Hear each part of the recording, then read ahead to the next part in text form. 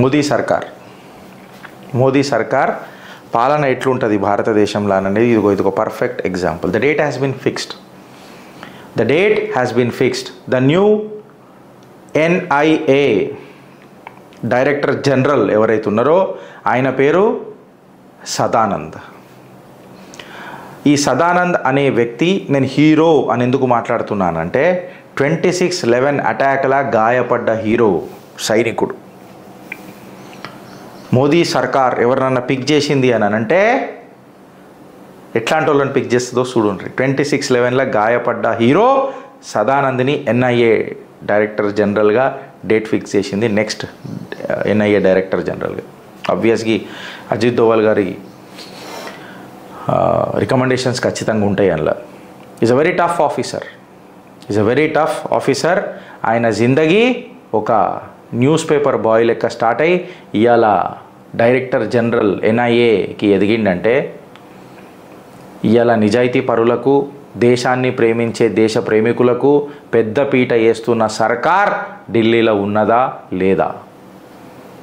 Target thirty five percent మనం పెట్టుకోవాలి. ఎందుకంటే ఆ థర్టీ ఫైవ్ పర్సెంట్ పోల్ తెలంగాణలో పెట్టుకుంటేనే మోదీ గారు మనకేం చేసినారు అన్నది కాదు మోదీ గారికి మనం గిఫ్ట్ ఇద్దాం తెలంగాణలో అన్న ఈ పర్సంటేజ్ గుండెలలో గట్టిగా పెట్టుకొని ఈయన అడ్డమైన రాజకీయ నాయకులకు గడ్డపార దించుడు షురువు చేస్తేనే ఇగో ఇట్లాంటి హీరోలు ఇట్లాంటి సైనికులు ఇట్లాంటి భారతమాత పుత్రులు దేశానికి పరిచయం అవుతూ వస్తూ ఉంటారు.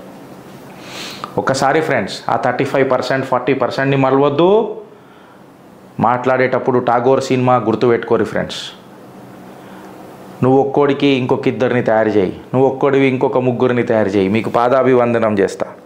మీ ఒక్కరు ఇంకొక ముగ్గురిని తయారు చేయండి. అట్లయితేనే ఆ థర్టీ ఫైవ్ ఫార్టీ పర్సెంట్ వస్తుంది. కేవలం అంటే కేవలం కాషాయ జెండా తెలంగాణలో ఎగిరినప్పుడే ఇగో ఇట్లాంటి హీరోలు దేశానికి పరిచయం అవుతారు కేవలం అండ్ కేవలం ఆ కాషాయ జెండాని మనం లేపిస్తేనే దేశ ప్రధాని నరేంద్ర దామోదర్ దాస్ మోదీ లాంటి నాయకులు దేశాన్ని పరిపాలిస్తారు. దేశాన్ని పరిపాలించే ఆ మోదీ లాంటి నాయకుల వల్లనే the bread on our table and our child's future will be absolutely safe. మోదీకి గ్యారంటీ. అబ్కి బార్ చార్ సో పార్ అని మోదీ గారు అన్నారు. తెలంగాణలో మనం సంకల్పం కట్టుకుందాం ఫ్రెండ్స్. అబ్కి బార్ చార్ సో పార్ బరాబర్ తెలంగాణలో అప్కీ బార్ ఆర్య పార్. కొట్టి పడాల పదహారు పదహారు సీట్లు పదిహేడు పదిహేడు సీట్లు. నిన్న నేను ఒక మీటింగ్ పోయినప్పుడు ఒక పెద్ద మనిషి మాట్లాడుకుంటా నాకు ఒక మాట పక్కకున్న మిత్రుడు ఒక మాట అని అన్నాడు. ఏందని అంటే ఎన్ని సీట్లు గెలుస్తున్నాం తెలంగాణలో అని అంటే నాలెక్క కొంతమంది ఇగో గిట్లా ఓ గట్లా అని అన్నారు. శరం హే ఆప్ లోగంకి గట్ల ఎట్లా అంటారు? పదిహేడుకి పదిహేడు సీట్లు గెలవాలన్న సంకల్పం ఉండాలి? ఎస్ ఓటు పడితే బీజేపీ పడాలా లేకపోతే పడొద్దన్న సంకల్పం నించుకోవాలా? పడితే దేశాన్ని ప్రేమించే నాయకుడిని గెలిపించుకోవాలన్న ఉత్సాహం మన మనసులలో ఉండాలి. కానీ వేరే Urja or to that matter excitement వేరే దాంట్లో ఉండదు అట్లీస్ట్ ఈ ఫార్టీ టూ డేస్. ఒక దీక్ష మాదిరిగా ఒక తపస్ మాదిరిగా. టార్గెట్ ఎంత ఉంది ఫ్రెండ్స్ మనది? Poll percentage thirty five to vote poll percentage కాదు ఓట్ పర్సంటేజ్. ఓట్ పర్సంటేజ్ మనం ఎంత పెట్టుకొని పోవాలా? Thirty five to forty percent target చేయాల్సిందే. గిరీష్ ఇది సాధ్యమా అంటే సాధ్యం చేయాల్సిందే. సాధ్యం చేసుకోలేదా? టూ థౌజండ్ ఫోర్టీన్లో సాధ్యం చేసుకోలేదా? టూ థౌజండ్ ఎయిటీన్లో సాధ్యం చేయలేదా? టూ థౌజండ్ ట్వంటీ ఫోర్లో సాధ్యం చేస్తలేమా? టూ థౌజండ్ ట్వంటీ నైన్లో కూడా ముంగటికి పోమా? అట్లనే టూ థౌజండ్ ఫార్టీ సెవెన్ వరకు మనం ప్లాన్ చేసుకోలేమా? ఈ మాట నేను ఎందుకు అంటున్నా అంటే ఫ్రెండ్స్ నేను ఇక్కడ పెట్టలే. నేను అది ఇక్కడ పెట్టలే కానీ ఆర్బీఐకి ప్రధానమంత్రి నరేంద్ర దామోదర్ దాస్ మోదీ ఆత్మనిర్భర్ భారత్ కింద స్పీచ్ ఇచ్చుకుంటా నేను ప్రమాణ స్వీకారం చేసిన నెక్స్ట్ డే నుంచి మనం పని చేయాలా? టైం ఉంది కదా కొంచెం రెస్ట్ తీసుకుందాం కదా నాకు కొంచెం హనీమూన్ పీరియడ్ కావాలి కదా నో! Absolutely not. నా మొబైల్ ఇజే చిన్నది. No!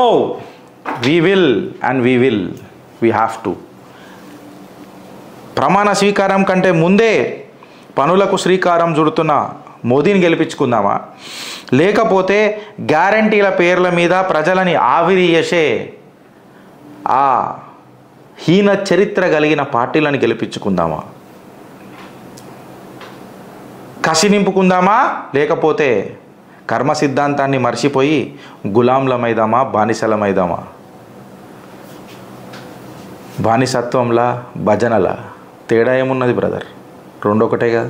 దళితులకు ఏం చేసింది భారతీయ జనతా పార్టీ సర్కార్ అని అంటే ఇప్పుడు మీ స్క్రీన్ మీదకి వస్తుంది ఫ్రెండ్స్ నేను స్లైడ్ పెట్టలే ఐమ్ సారీ పూల్వాలా చాచా నెహ్రూ. పూల్వాలా చాచా నెహ్రూ దళితులకు ఇచ్చిన పర్సెంటేజ్ అంటే క్యాబినెట్ల పర్స దళితులు ఎంత ఎంత పర్సెంటేజ్ ఉన్నారు క్యాబినెట్లో అని చెప్పి మనం లెక్క తీసి చూస్తే నెహ్రూ గారి పూల్వాలా చాచా గారి క్యాబినెట్లో only three point nine two percent దళితులకు ఛాన్స్ ఇచ్చిండు. Morarji Desai four point one seven మంది దళితులకు ఛాన్స్ ఇచ్చిండు క్యాబినెట్ మినిస్ట్రీలో రాజీవ్ గాంధీ పూల్వాలా చాచా మనమడు three point six seven percent ఇచ్చిండు. VP Singh జనతాదల్లా two point five six percent ఇచ్చిండు. అటల్ బిహారీ వాజ్పేయి అభినవ జాతి పిత టెన్ పర్సెంట్ ఇచ్చిండు. Manmohan Singh six point three three percent ఇచ్చిండు. మన్మోహన్ సింగ్ సెకండ్ యూపీఏ సర్కార్లకు వచ్చేసరికి zero point eight six percent ఇచ్చిండు. Narendra Damodar Das Modi NDA one two thousand ఫోర్టీన్లా ten point five three ఇచ్చిండు. నరేంద్ర దామోదర్ దాస్ మోదీ ఎన్డీఏ టూలా టెన్ పాయింట్ త్రీ ఫోర్ ఇచ్చిండు. Bharatiya Janata party సర్కార్లనే దళితులకు పెద్దపీట వేసిన ఘనత దక్కింది. Percentage of cabinet ministers in parliament when BJP was ruling అని తీసుకుంటే అభినవ జాతి పిత అటల్ బిహారీ వాజ్పేయి కాడికి మొదలెట్టిన మన దేశ నరేంద్రుడు కాడికి చూసిన టెన్ పర్సెంట్ అబవే ఉన్నది. Who has benefited the Dalits more than the Bharatiya Janata Party? దళితులను ప్రేమించి దగ్గరికి తీసుకొని వాళ్ళ పేర్ల మీద రాజకీయమే చేసిన పార్టీలేవి వాళ్ళని దగ్గరికి తీసుకొని కూసోబెట్టి వాళ్ళకు వాళ్ళ గౌరవము ఆత్మ గౌరవం పెంచిన పార్టీలేవి. మోసపోకుర్రి. మోసపోకుర్రి. డేటా! దేవుని నమ్ముండ్రి ఆ తర్వాత నమ్మేది కేవలం అండ్ కేవలం డేటా.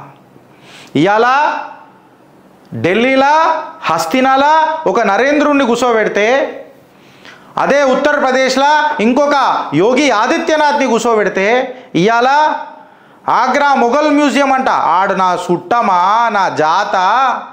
ఆడు ఓడాడు. ఆడు ఓడు మొఘల్ అనేటోడు. మోసపోయింది సాలిగా. ఆడ పేరు తీసేసి ఎవరి పేరు చెప్తే గుండె దడదడ కొట్టుకుంటుందో ఎవరి పేరు చెప్తే ఆత్మ.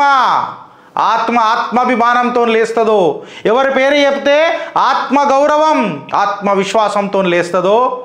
ఛత్రపతి శివాజీ మహారాజ్ మ్యూజియం అని చెప్పి ఆ పేరు పెట్టిండు.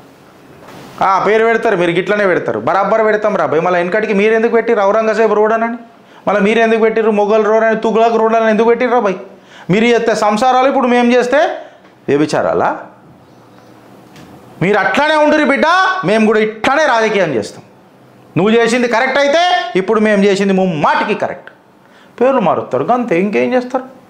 ఏ నామ్దార్ సర్కార్ ఏ కామ్దార్ సర్కార్ నయ్యే అని చెప్తాడు. ఎవడు? మన కేటీఆర్. ఆయన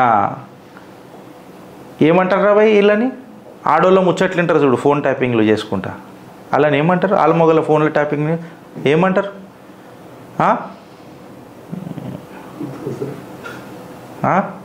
అసలు you are a housewife KTR you should be a housewife పాపం నేను వాళ్ళని కించపరుస్తలేను హౌస్ వైఫ్లని I take back my words నువ్వు వాళ్ళకంటే హీనం. నేను సారీ కూడా చెప్తున్నా.